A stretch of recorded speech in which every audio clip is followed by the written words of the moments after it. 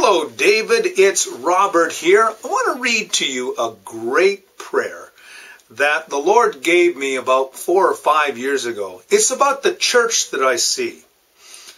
The church that I see is one resonating with prayer, pastoral prayer, early morning and all night prayer, intercessory groups, a prayer center, Intercessors alive and free. Prayer that calls people from the four corners of Canada and the world on a daily basis.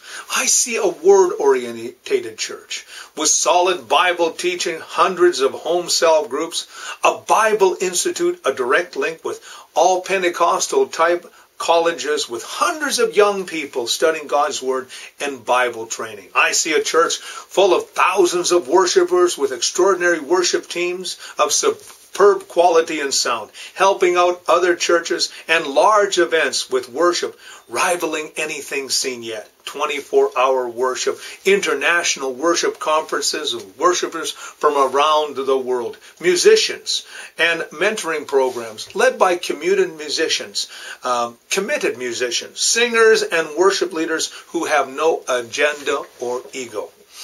I see a church with mentoring and leadership programs, mature, committed leaders, mentoring and modeling in lifestyle the next generation. Doesn't that sound exciting, David? A strong two-way leadership model, cutting edge resources and methods to reach the leaders of today and tomorrow. A generation of leaders who have only one goal, total evangelization of the world. I see a church with trains and missions, sends pastors and missionaries at home and abroad, short and long-term uh, missionaries of various vocations to touch the world for Jesus Christ. The greatest, most famous evangelists, evangelists contacting us to help them. Thousands being won through home, church, and friendship evangelism.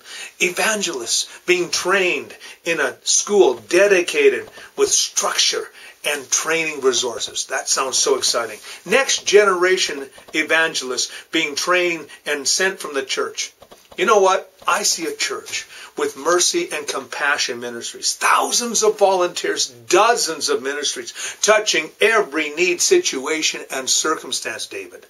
Being a church that really cares. Food bank, counseling, addiction programs, halfway houses, and sending hundreds of volunteers to helping agencies, all organizations all needs to be met a dream center. I see a church with youth and young adult ministries that trains mentors and equips a generation to reach our city, our province, country, and world. We will have 100% retention of all who come to Christ in this generation.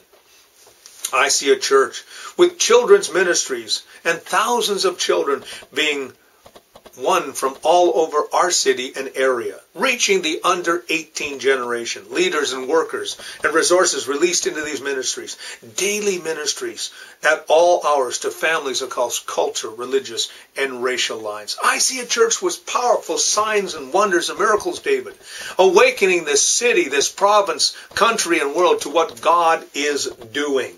A New Testament type of ministry with the gifts of the Spirit in total operation, a day of Pentecost type ministry affecting all types of people, thousands being won.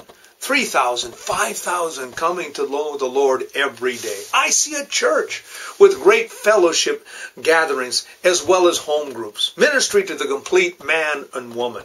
Men's ministries that last. Women's ministries alive again, partnering with the next generation of ministries and wave of ministries being raised up. I see a church on the cutting edge of technology and media, radio and magazine, internet, and all the new technologies that will come.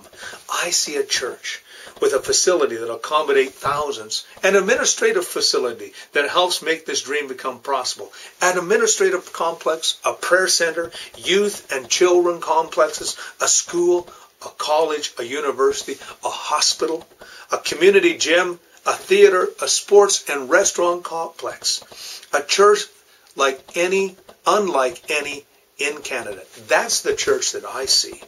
David, we need to pray that over every church in this country. We need to pray that every pastor will have a huge vision, a huge uh, uh, situation where they will see what God sees and they will know what God knows. That God will let them see what he sees. This is the church that I see, David. Your friend, Robert. You have a great day, David.